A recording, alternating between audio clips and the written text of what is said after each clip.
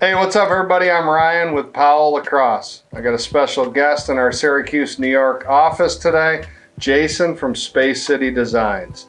So, my last dye job was 30 years ago when I was in fifth grade. To say the least, it did not come out very good. I have not dyed a lacrosse stick since, but I have recently become very intrigued in the dyeing and stringing community in the sport of lacrosse. These experts are very good at what they do so I figured it would be a great time for me to get an education on dyeing a lacrosse stick from Jason. And I think that you're going to learn a lot about the step-by-step process during this tutorial as well. So right now I'm going to turn it over to Jason and we're going to get started. All right, today we're going to replicate one of the dyes that I did for the wood shop. We're going to go with a Galaxy dye. And to do this, we're going to be using three different dye colors.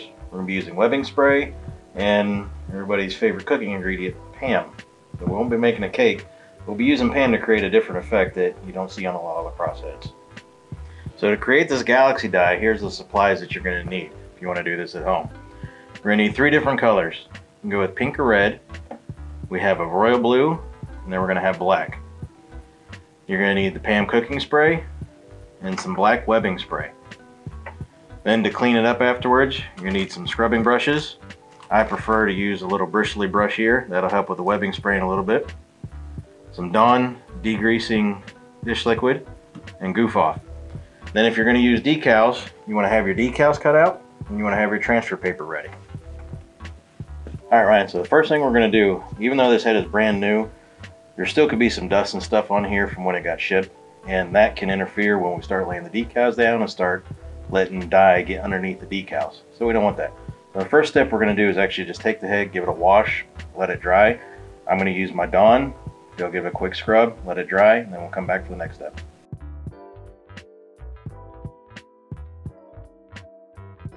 All right, Ryan, so since we're going to be putting decals on this, we already have them cut out. I have a vinyl cutter at home. I personally use the Cricut. Um, so that's what you see here. What we're going to do now that these have already been cut, we're going to weed the excess vinyl so that way we have just the decals that we want. So I'm going to go ahead and start weeding and then I'll have you do some. Okay. Use an X-Acto knife to get them out? We will. Okay. All right, so I have my X-Acto knife here. And what I'm going to do is I'm going to pick at the edge because with the vinyl there's two layers. There's the actual vinyl layer and then the backing layer. We just want to separate those two.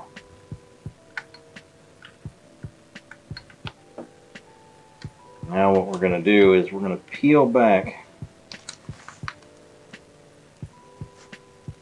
removing the vinyl and sometimes some of these little stickers want to stick to the vinyl when you make smaller cuts that tends to happen. So you want to use the knife to try and just hold them in place.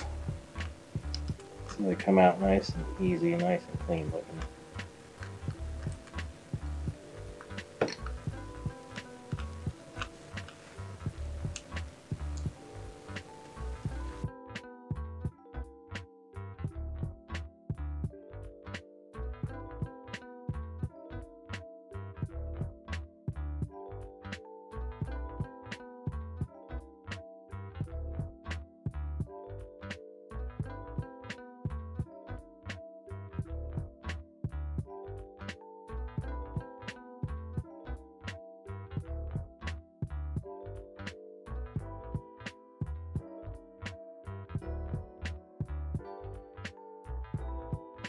Step two is complete.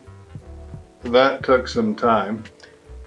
Yep. There, there's a lot of detail to that. Yeah, you gotta have steady hands and you need a lot of light when you're doing that one. We got them all cut out. So they now, look good, logos. What's up next? So next we're gonna roll into actually putting them on the head and all the steps that we need to do to get them on here and make sure we don't have any bleed when we start dyeing them. All right, let's do it. How do we start? All right, Ryan, so we got two ways we can put these decals on. We can do it by hand or we can use our transfer tape. So if we're doing the stars, it's easier to just do it by hand because it's one piece. It's easy to pick up and just place on there. I recommend if you're going to do that, take your little X-Acto knife here and just get a tip underneath of the decal and lift it up and figure out where you want to place it. And we're just going to press it down nice and firm. Okay. Now if we're going to use like one of these logos, this is better to use your transfer tape for because you have a whole design, you want to keep the design as it is. You don't want to accidentally offset something and mess up the logo. So I'm going to take this POW logo here, cut out a little piece of this transfer tape.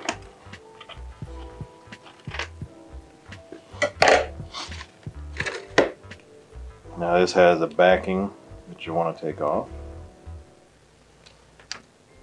Now we have the backing off of it. Sticky side down, and we're going to go over the logo that we want and just give it a little press. And then when you lift it up, you'll see we're going to take the whole decal with us. So now we have everything all exactly how it wants to be. So for this one, I'm going to place it right in the center of the head. So I want to figure out what I usually do is I look between the two holes here, or I look between, for your heads, where we have these angles in to help line up what's going to be center. So I'm going to line it up with the bottom, go with where I think's about center, lay it down nice and flat, and then we're just going to push. Push the decal back onto the head. And you're going to just slowly peel away the transfer tape, and as you do, you'll see you'll be left over with the decal that you want. Okay. Now we have a little overhang right here. Yep. See we're on the top of the head. We can do one of two things. One, we can fold it over, or we can slice along the top. So what I'm gonna do for this I'm just gonna fold it over, press it down nice and firm. Then you're just gonna repeat that step wherever you want decals on. So the sticky side goes down to the logo, correct? Mhm. Okay. And as you're peeling, you notice like I didn't have one that stuck all the way. I just lay it back down, pull it back up. Okay. I'm gonna take this one, I'm gonna go on the back of this scoop with it. Going a little bit of that, going a little bit of this. Boom.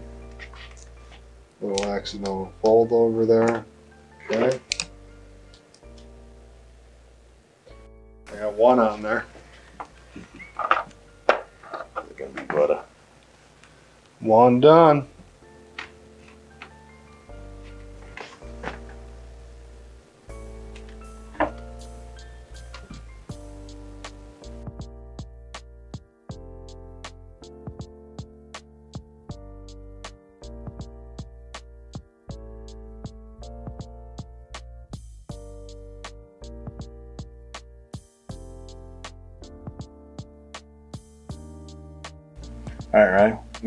Decals on. Show them what it's gonna look like real quick. That was quite a process, It was. to be honest. We're not done. Okay. So we have them on here and they're stuck. But now what we have to do is we got to use the heat gun. We have to go around to each one of these decals and put heat to them. So since this head has some texture to it, what we need to do is make sure that where the little bumps are in the head, we're not going to get dye sliding under there. That's called bleed. So what we're going to do is we're going to use the heat gun to apply heat to the decals. That's going to get the adhesive sticky. And then we're going to press them down. Okay. So what that's going to do is get the adhesive to go into those and fill those little gaps to help reduce or prevent the chances of us getting any bleed. Okay. Certain amount of time that you like to put the gun on there, the heat gun. The longer the better. Okay. But if you start seeing it bubble up, take That's the heat too off. long. Yeah. Okay. Because you can these decals. I'm using Oracal 651 brand vinyl. It can take a lot of heat, but at too much, it can melt. It can create little holes in the vinyl. So it's uh, I usually do about 10 seconds of heat, press 10 seconds of heat until I feel it's been uh, on there long enough. Right. Okay.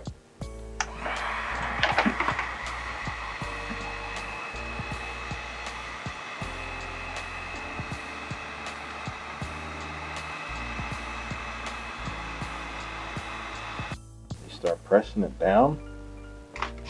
you're going to notice, especially on a textured head, that the vinyl is going to go from being smooth looking to now you actually see all the texture that's behind the head. If you see now how it's no longer smooth, it has all the texture lines in there.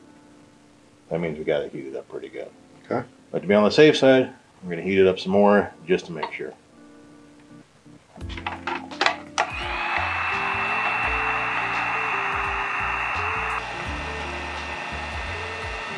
Well, I'll tell you right now that I have a whole new appreciation for the guys that do the dyeing out there. This is quite a process here you got to do. I'm going for all mine at the same time. See how Space City Design just did one at a time? I'm going for all of them.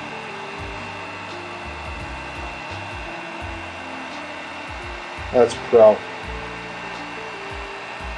Pro tip number one don't be right. all right, Ryan. So now we have all the decals on. What we're going to do is we're going to take our PAM cooking spray and we're going to lightly spray, spray it across the head. Now, what this is going to do is when you spray it about six to 10 inches away, you can put little droplets of the oil all over the head. Those little droplets of oil are going to prevent the dye from going into that spot. So the idea is we'll put the PAM on there. We're going to dip it in our pink.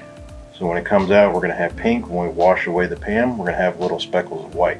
Okay. So that's going to be our first step. That's what the PAM's going to do is hold the white in those places. So this is just for a particular look that we're going for and you don't always use PAM. Correct. We're using this to try and give it that star look. So we'll have different specks of colors when it's all done. Okay, sounds good. Let's check it out.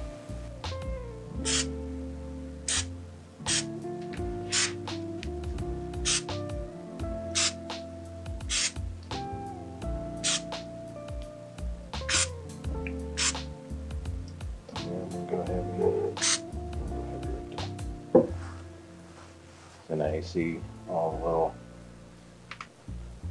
droplets. All of Droplets of PAM. All of that is where it should stay white.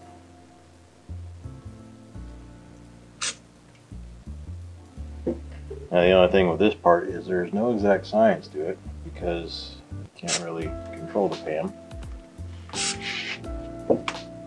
Give a shot, right?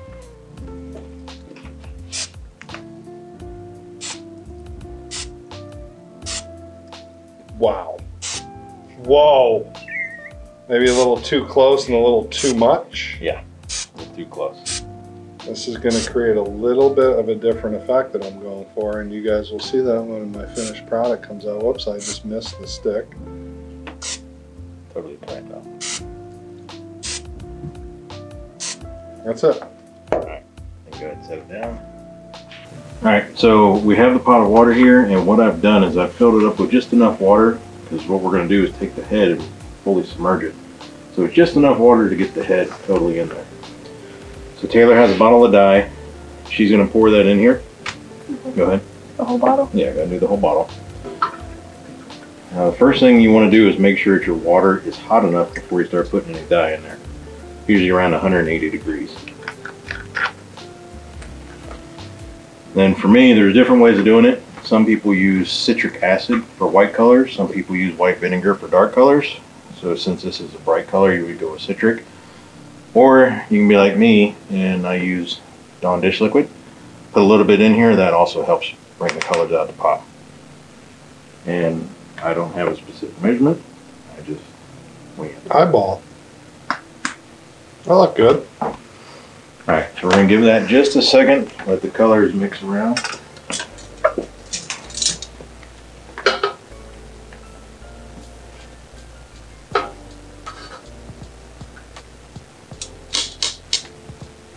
Alright, so now we're gonna put the whole head in here, and you wanna make sure you do it nice and gentle, um, because with these being droplets, you know, if you're rough with it, you can create streaks, and that's gonna look more like drips instead of star-like look.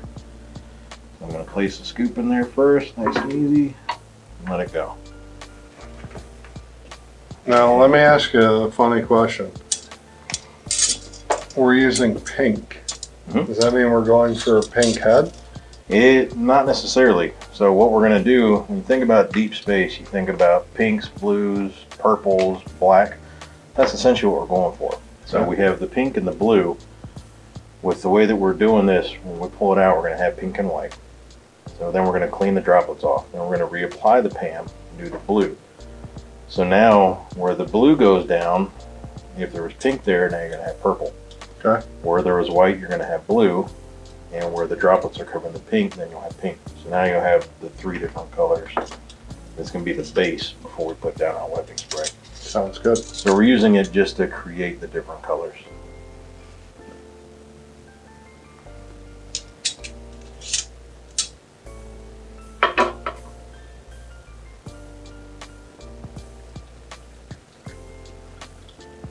Taylor, can you give me?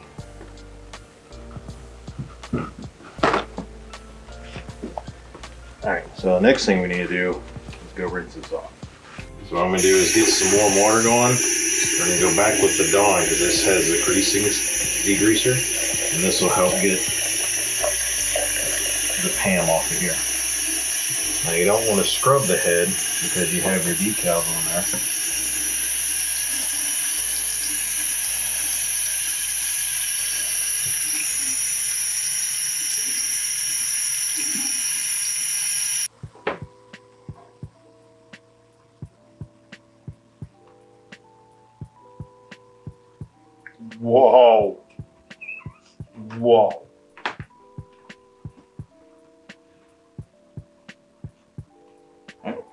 It on back there. All you do is go rinse it off.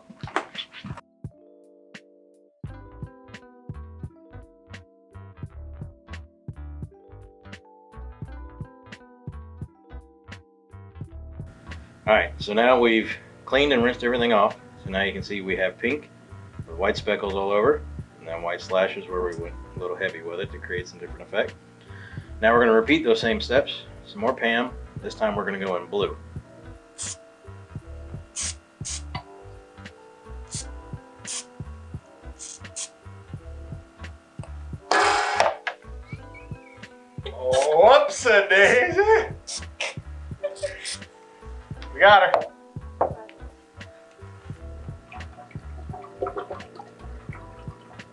That's blue. Royal blue. That's blue. Put a little dish soap in there, and then what you want to do after you put that in there, you give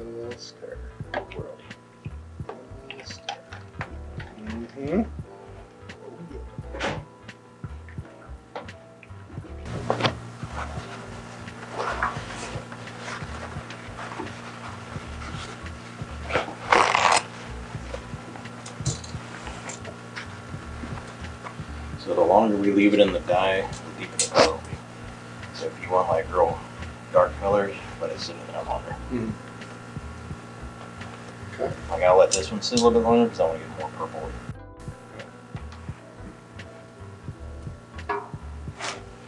There you go. That's a good assistant right there. Did you see me swoop right in there with the paper towels for you? It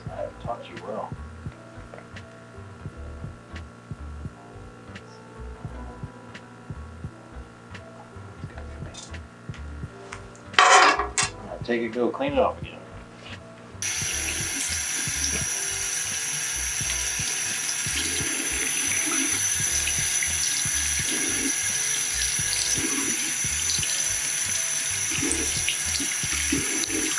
This is gonna look pretty sweet.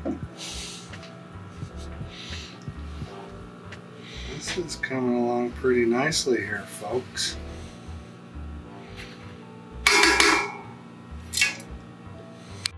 Sweet, dude. That's coming together nicely. All right, now that we got them all washed off, gotta let them dry. Then we're gonna hit them up with some webbing spray and then throw them in the black.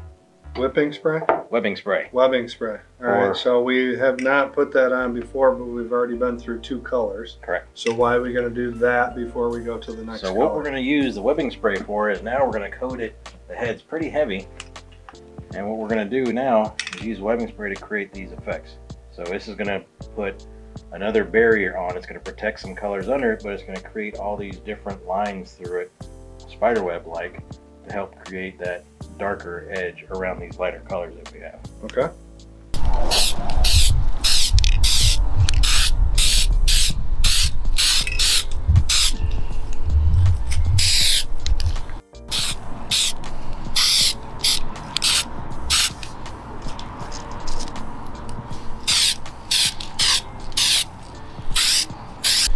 Right, so you see here where all the black is, that's going to keep the color from going there. So where everything is exposed right now, that'll turn black or the darker color.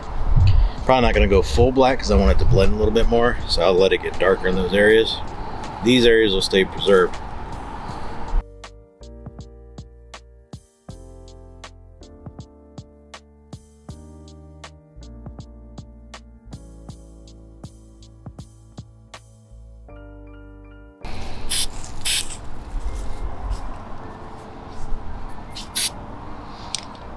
Out the door. Webbing spray. Yeah, boy. All right, now the webbing spray is set for about an hour. Uh, we're just gonna take it and put it straight in the black dye when we get it ready. So, Caleb, you can go pour in the black dye. Whoa!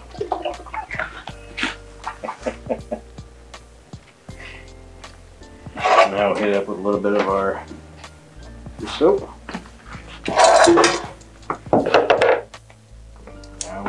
Ease her on in there. You need a little stir, Give right? her, give her a little stir. Give me a little stir in there, CD. All right, here we go.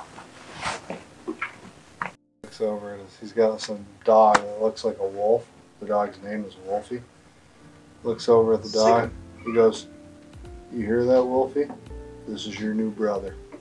All right, so I've had this in here for about two, three minutes now. Um, I don't want to go with like a true black. I want it to be uh, a darker, almost like purple to play off the colors that I had in there before. We should be good. So I'm gonna go ahead and fish this guy out of here real quick. Let's see, we do look like we got a nice good shade of purple there. So now I'm gonna take this back to the sink, and the first thing I'm gonna do is rinse it off when I get back there.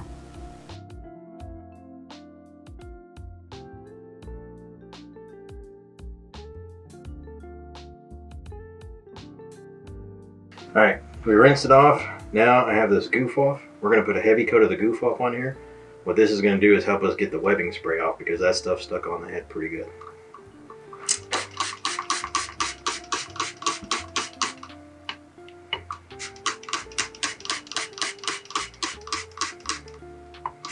Now we're just gonna let it sit for a couple minutes.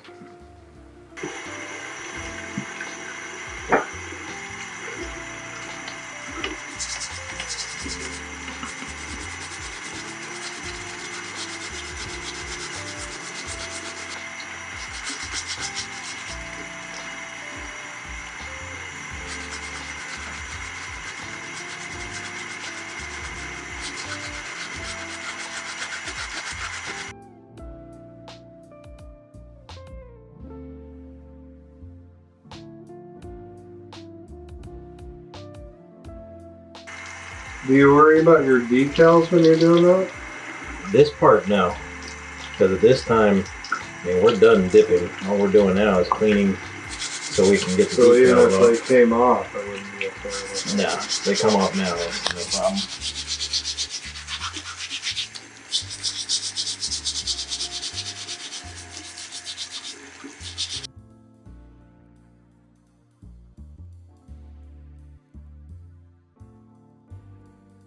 This is goof off, and uh, my teacher has left me in the bathroom here to do this job, and I don't really know what this stuff does. I'm guessing it helps take this stuff off.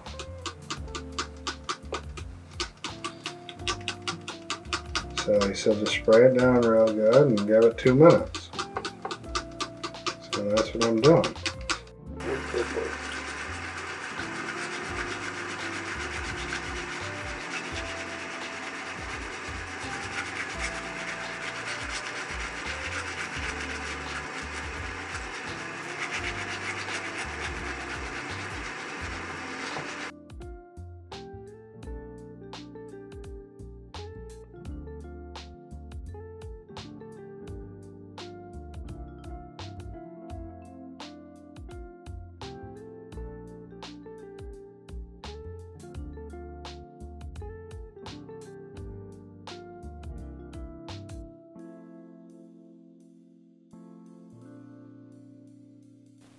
All right, now we got all the webbing spray off. and we scrub it up. Now we're going to get all the decals off. So you can pick them off, you got long enough fingernails, or you can bring this guy back out and pick them off. And that's what we're gonna do now. This is kind of the moment of truth now, right? This is the, the nerve wracking part to see how well your decals adhered. Right. You want to make sure you don't have the leakage. Exactly, no bleedies. Let's do it. This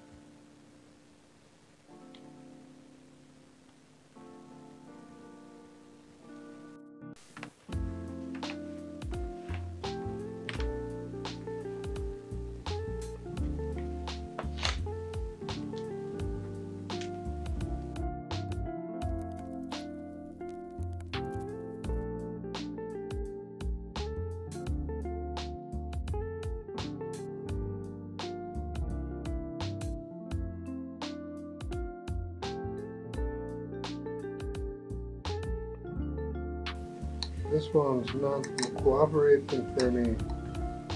There we go. Okay, now where else did I put anything? There we go.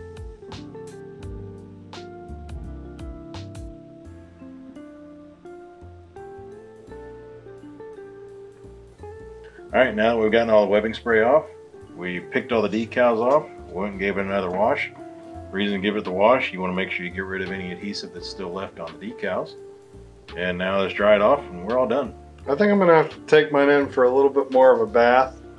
Still got uh, some of that uh, black webbing on there. Webbing spray on there. But um, thanks a lot for coming up and making the trip up to Syracuse and uh, great teach of uh, how to dye a stick.